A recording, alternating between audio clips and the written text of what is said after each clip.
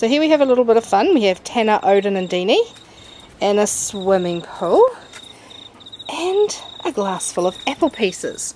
So let's watch the fun. Okay boys! And here you have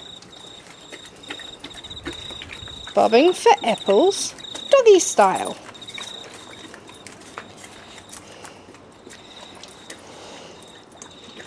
Something fun for a hot day as long as you don't have food aggression problems.